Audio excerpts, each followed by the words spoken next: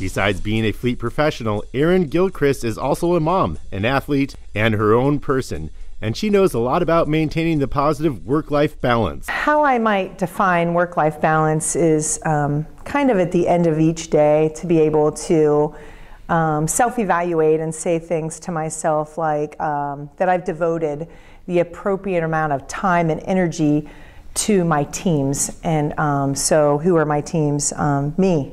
I'm, I'm my first team, and I I'm, I'm, indicating that there's more than one of me, but there is. Um, so I have multiple roles. So, you know, I'm, I'm, I'm a mom, I'm a person, I, am a human being who has my own needs, I'm a professional, um, I'm an athlete.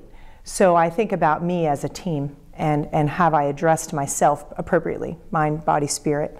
And then um, have I addressed my family and, and my work family and my industry family, and, and have I given everyone the appropriate attention and, and energy?